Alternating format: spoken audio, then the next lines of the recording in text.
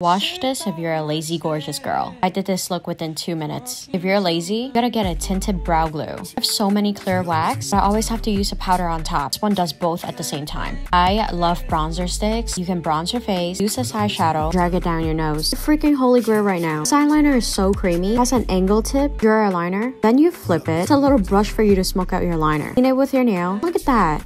You don't have a liner lash glue. What are you doing? Go get it right now. I got my face. Cream blushes. It's like two seconds to blend. I feel like I spent an hour on my makeup today.